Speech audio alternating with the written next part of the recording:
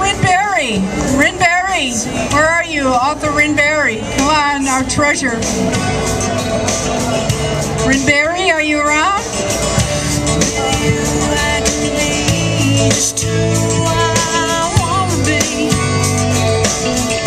All right, here's Rynn Berry. We're in good hands. We're in very good hands right now. Okay, Rynn Berry, I want everybody to know I've known him for many, many, many, many years. And uh, uh, uh, is the historical advisor to the North American Vegetarian Society and is in general a treasure, no question, uh, in the vegan community. He is the author of so many wonderful books, and and people know him uh, in the green market. Uh, maybe not lately, but um, made a very visible face to veganism in New York City and the green market. Uh, he's the author of The New Vegetarians, Famous Vegetarians, Food for the Gods, Hitler, neither vegetarian nor animal lover, and um, annual editions, updated editions of the Vegan Guide to New York City. Uh, he, we love that, right? It's a great, great, great resource. Uh, he co-authored Becoming Raw, okay, an essential guide, and has written numerous articles on veganism, including some that stand as official encyclopedia entries. That's pretty amazing. Uh, he's a scholar extraordinaire, and what languages do you speak?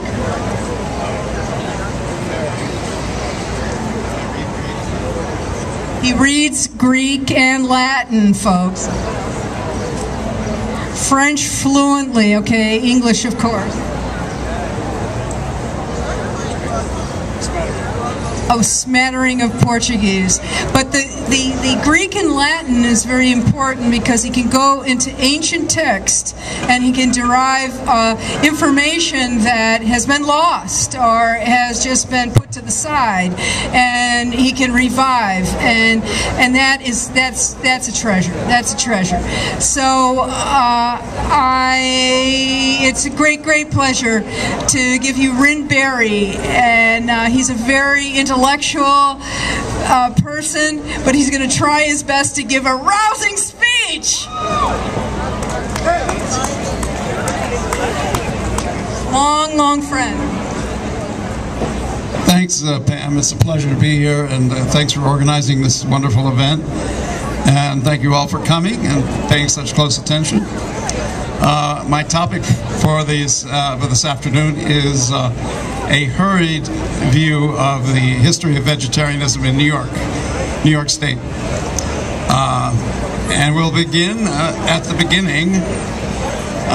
some of you may be surprised to learn that vegetarianism begins not with the white Europeans, but actually with uh, Native Americans. Uh, according to uh, Verrazano, who uh, was an explorer uh, uh, who arrived in the year 1609, the Lenape Indians were observing a largely vegetarian diet.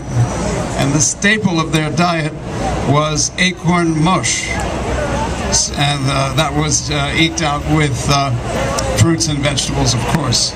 So we, uh, we Europeans, of people of European descent, uh, have nothing on the uh, indigenous peoples who inhabited the New World. Many of the tribes were vegetarian, including the local Lenape Indians, who were sort of a subsidiary of the Algonquin group. But the first uh, white European to have a, a vegetarian uh, incident in New York was none other than the founding father, one of our founding fathers, uh, Benjamin Franklin. Uh, he had turned vegetarian in his uh, late teens, and uh, it was on a voyage from uh, Boston to Philadelphia that he actually became a, an apostate and abandoned his vegetarian diet, which was of two years duration. And this happened off the coast of Block Island his his boat was uh, becalmed, you know, and uh, he noticed that the other passengers were were catching fish, and uh, they actually codfish, and he he observed that the codfish were feeding on each other. You know, they passengers slid open the cod, and there was another cod inside, a smaller a smaller fish. Uh, cod, unfortunately, are carnivorous. And he, so he uh, made a very specious uh, deduction saying, oh, well, if, if fish can eat each other, then uh, this is the law of, nature. So uh, I'm justified in uh, forsaking my vegetarian diet and reverting to carnivorism. So that was the first uh, vegetarian incident among white Europeans, a rather unfortunate one. Uh, the next uh, uh, of any import was the opening of the uh, water cures. I don't know if you're familiar with them, but starting in the uh, mid 19th century, uh, there was a new form of uh, alternative medicine that sprang up to treat people with cold water hydrotherapy. And for some reason, a concomitant of this hydrotherapy, cold hydrotherapy, was a diet, a vegetarian or vegan diet. Very often it, was, it consisted mainly of raw food. And some of the earlier practitioners of this uh, water hydrotherapy, which became a, a real fad, a very uh, in New York City at the time, were uh, Mary Gove Nichols and um, her uh, partner, and uh, Joel Shew. these are all forgotten names, unfortunately. And R.T. Trall. They uh, practiced a vegetarian diet and prescribed it for their patients. And, and uh, so this was a water cure for some reason, perhaps uh, perhaps because it was sort of baptismal in nature and it sort of uh, harked back to the original diet uh, which is, of course, in Genesis. The uh, our original diet, as we all know, was a raw food vegan diet. So uh, that's that may account for this uh, strange uh, vegetarian diet in the water cures. and I should also mention that in 1850, the first vegetarian society in the country was created right here in New York City.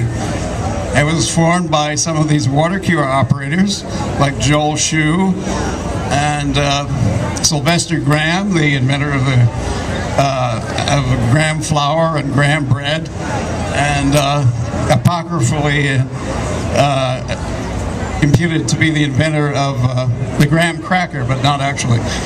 Uh, so there was Sylvester Graham and the water cure operators, they uh, and Bronson Alcott, father of Louisa May Alcott, they came to New York and formed the first vegetarian society in 1850. First in the country, so that's another New York first. Uh, then uh, there was another huge water cure establishment uh, that sprang up uh, in the 1860s in Dansville, New York and this was started by James Caleb Jackson. It was called Our Home, and Jackson was a vegan, uh, self-proclaimed vegan, and he prescribed a vegan diet for his patients.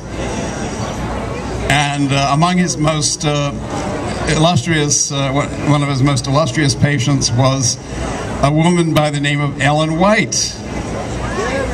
Ellen White, who founded the, uh, an Adventist, okay, great.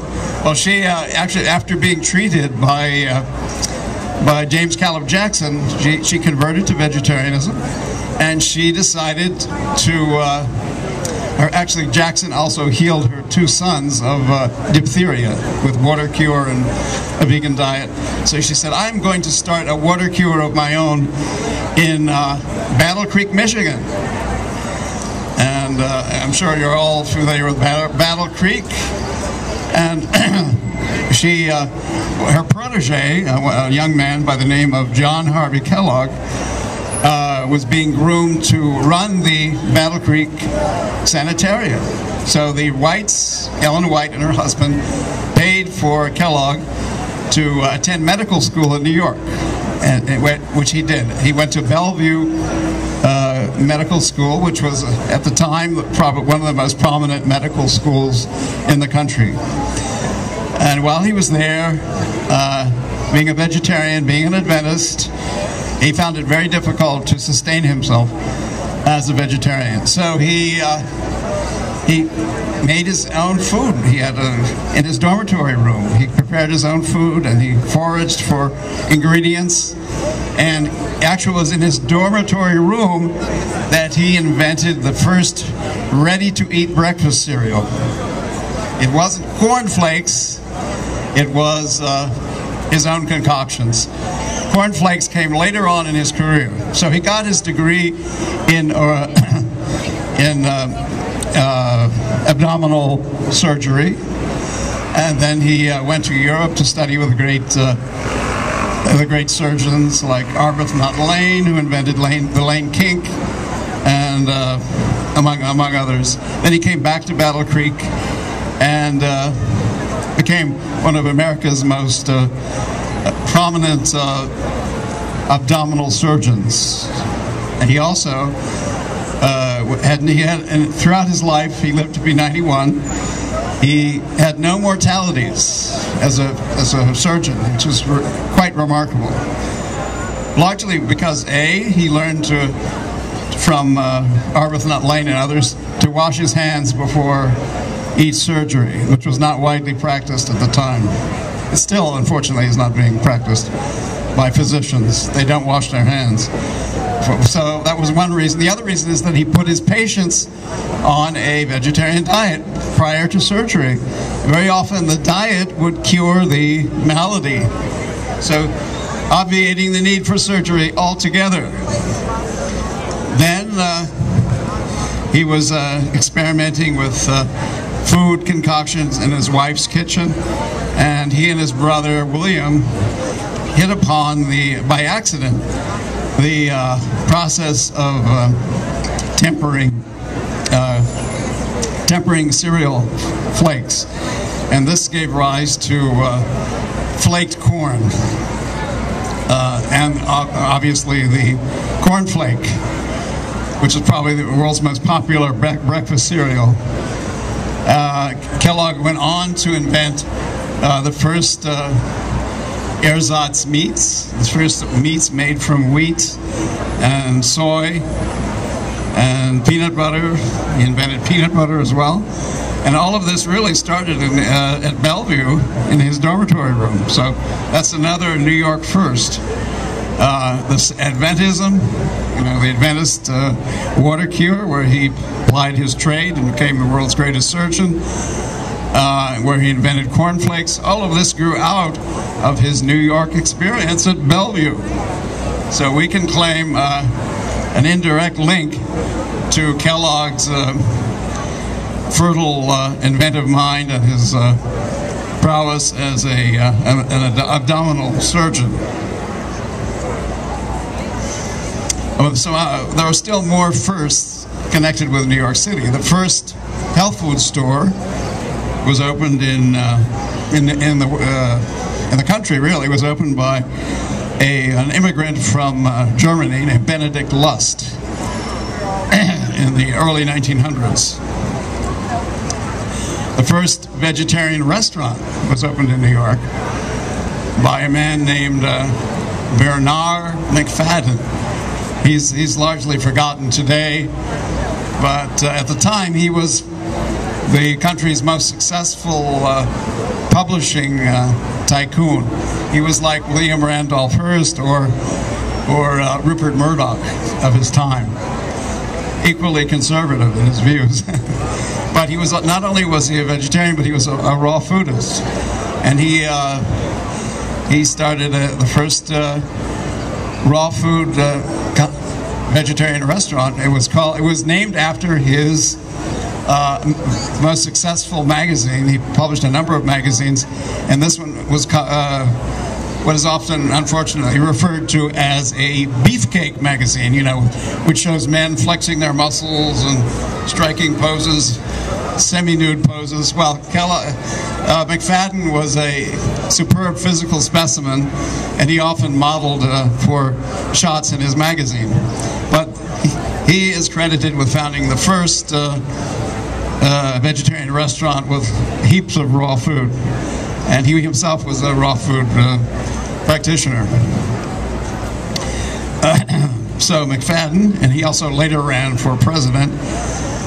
And among his, uh, he actually uh, was a, a, grade school dropout who made good, but his English, his literary English was not of the best quality, so he hired a uh, writer, a ghostwriter, to write his uh, columns and his encyclopedia entries.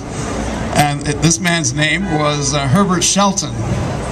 It may be unknown to you, but Herbert Shelton is the country's was the country's uh, founder of the Natural Hygiene Society and uh, a leading raw foodist who uh, subsequently was hounded. He was fired by Macfadden for being so, uh, such, for having such inflammatory views about diet, and also uh, he uh, drew the wrath of the American Medical Association because he had he had a uh, in his spare time he treated patients by putting them on a raw food diet and putting them on fasts, water fasts. So he was sort of hounded out of New York, and he moved to San, San Antonio, Texas, where he wrote a plethora of books. I think almost 50 books on uh, the raw food uh, diet. It was known as natural hygiene at the time. So that's another New York uh, first. and then uh, at one of these uh, vegetarian conferences, which uh, was held in the 1940s, the first presidential nominee who ran on the vegetarian ticket, William Holdridge, uh, was uh, fielded at a uh, vegetarian conference, actually a natural hygiene conference in New York City. And he ran against Eisenhower, General Eisenhower in 1950. Uh, he lost, unfortunately. but he was uh, the first vegetarian presidential candidate, also got his start in New York. Uh, then uh, just moving right along, I know I'm a little behind time here. Uh, we had the first uh, radio personalities, Ed and Peggy Fitzgerald. Uh, Philip Kapleau founded the first vegetarian Zendo in Rochester, New York. Pamela Rice started the uh, Viva Veggie Society and organized the first American Veggie Pride Parade. I myself, I myself started the first uh, exclusively vegetarian uh, and vegan restaurant guide. You know, there had been other guides in the past, but they uh, they were vegetarian friendly. They included carnivorous restaurants.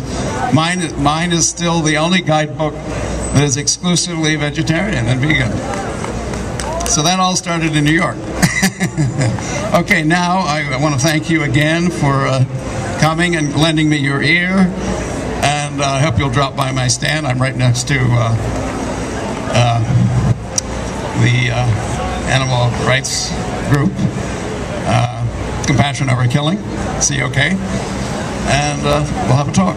Thanks. Thanks, Pam. Thank, thank you all for coming.